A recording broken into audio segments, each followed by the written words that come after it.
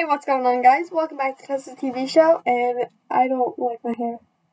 It's pretty, kind of, but I made sure my hair was gonna be straight because I have class picture day today, and I was gonna. I wanted it straight because I'm gonna do. I don't. I was gonna do a hairstyle, but it was gonna be easier for me to do a straight hair, but that didn't work. So now I have my pretty wavy hair, my natural hair. So I'm starting my conspiracy theory, and I'm a mess, and I've been really busy this week, and I haven't done any sort of researching on Area 51 at all.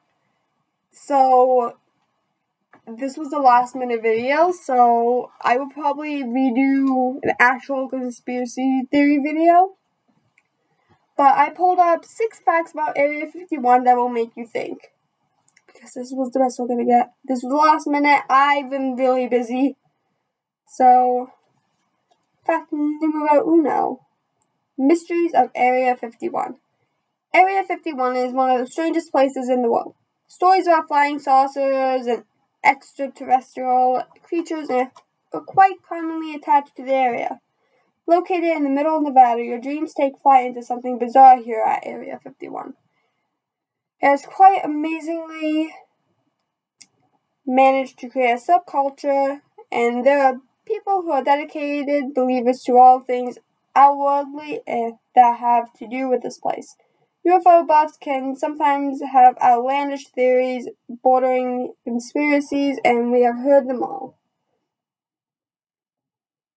Number two, the infamous interview of 1989. this was way before my time. I'd never heard of this, so yeah. Robert Lazar shot to global fame with an interview he had given with a Las Vegas radio station. Robert or Bob claims that he worked at Area 51 and that he knows for sure all of its clandestine extraterrestrial activities. He claimed it to be a place where the extraterrestrial is studied, and in fact, the area, according to Lazar, housed alien aircrafts. This, when Area 51 got exposed in the public eye for the first time. I just woke up. My voice. I'm not sick. There's a cat crossing the road outside my window. I'm sorry, I got so just I looked out the window, I just see a cat walking across the street. I've never seen that cat before. Okay. Number three. It started for military activities. Area 51 is not a new place, it has been around for a long time. The area was first developed in 1955 for military work. It was deemed as an ideal spot for testing the U 2 training pilots. The U-2 aircrafts were developed within eight months. Other aircrafts were also tested, and a radar test facility was also established in 1959. Number four, first reference by a president. Former President Barack Obama was the first president in the history of the United States to mention Area 51 to the public. At the annual Kennedy Center Honor Ceremony in 2013, Obama mentioned the place while cracking a joke. While it was a cool thing to say, nobody overlooked the fact that a president uttered the term Area 51 for the first time since its existence. This only made people believe that such a place does exist.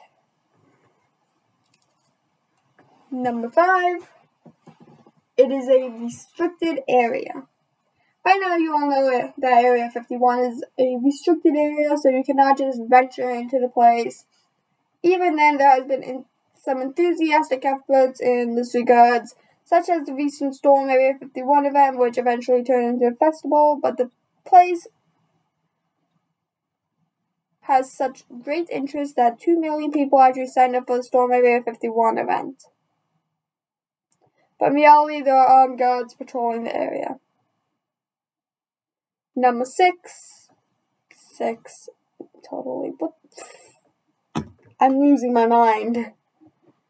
A fake moon landing theory. This is no ordinary place, and so, like all extraordinary places, the theories attached to this place are also quite over the top. One such theory is that the moon landing was fake, and it was, in fact, filmed here in Nevada's Area 51. You want to know who the conspiracy theorist who filmed the whole thing? None other than the American filmmaker Stanley Kubrick, who supposedly helped NASA. Whoa! There's a seventh fact? Number seven. Hold on. BRB.